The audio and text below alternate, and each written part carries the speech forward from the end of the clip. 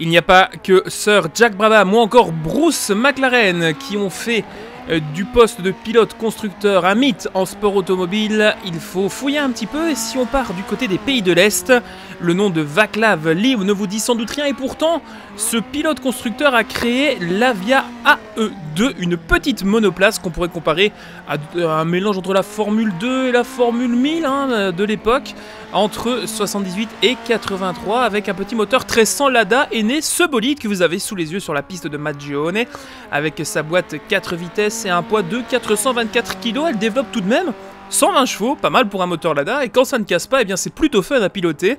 Une réalisation plutôt réussie. On devait déjà la Marek MKC3, si je ne dis pas trop de bêtises, à ce même développeur qui se manifeste régulièrement sur les vidéos track des reprenant ces bolides. En tout cas, une monoplace qui tient très bien du train avant, mais qui décroche facilement du train arrière.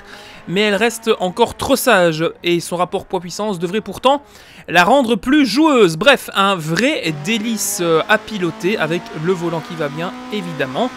Cette voiture est disponible dans la description, donc en mode pour Assetto Corsa. Vous connaissez la tradition d'Entracté les amis, montez le son.